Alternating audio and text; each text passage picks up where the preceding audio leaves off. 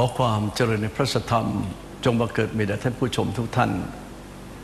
ได้กล่าวถึงคนอุมา คุณออนอุมาเกษตรพืชผล เขาจัดรายการสื่ออาสา ก็ชวนอาตมาออก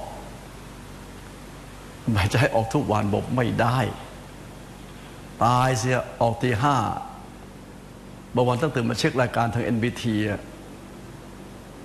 ต้องมานั่งตอบคำถาม แล้วตอบแล้วก็เขามีสมาชิกในการฟัง แต่เขาเอาลูกสาวมาออก ลูกสาวเขาถามว่า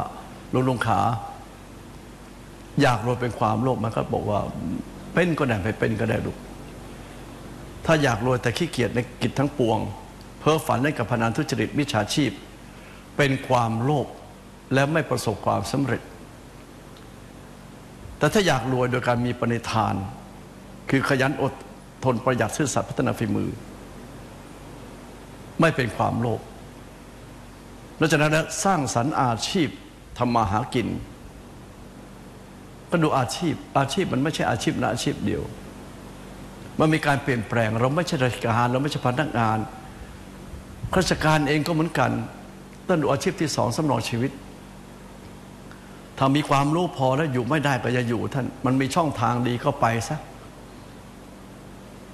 เราจะได้รู้จักระบบราชการต่าง ๆ ด้วยซ้ำไป ก็ได้เปรียบคนอื่น แต่ถ้าพอใจในสิ่งนั้น จะรอกินบำนาญมันก็ไม่แน่นะในโลกต่อไปนี้ ไม่แน่หรอกท่าน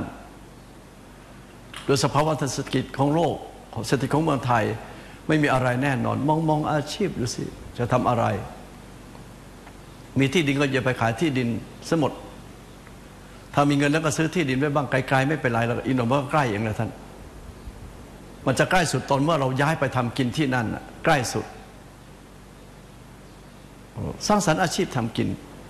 เก็บหอมรอมริบทรัพย์สินไว้ลงทุน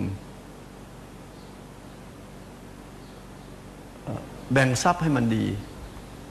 หนึ่งใช้หนี้เก่า คือดูดูแลคนที่เลี้ยงเรามาสองทิ้งเหว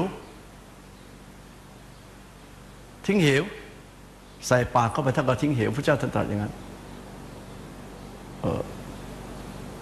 ทุกคนก็ทิ้งเหวทุกวันนะอาหารการกินสามเก็บไว้ลงทุนคือเลี้ยงลูกหลาน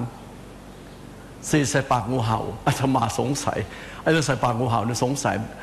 เขาบอกให้พันยาอ๋อมารู้ทีหลังอ๋อเมียนี่ถ้ามีตังค์ไม่ให้มันขู่ฟอฟอฟอยังกับงูเห่าเลยท่านนะเออแผ่แม่เบี้ยเลยก็แล้วกัน เพราะฉะนั้น เอาไปพร้อมลงได้ไปลงทุน อย่างนี้เป็นสัมมาชีพ ไม่ถือว่าเป็นความโลภแต่เป็นความเพียรซึ่งมีอิทธิบาทสิบประการเป็นเครื่องรับรอง คือชันทะวริยะจิตตวิมังสา ถ้าครบอย่างนี้แล้ว จะรวยขึ้นตามลำดับ จนถึงมั่งมีมั่งคั่งมั่นคง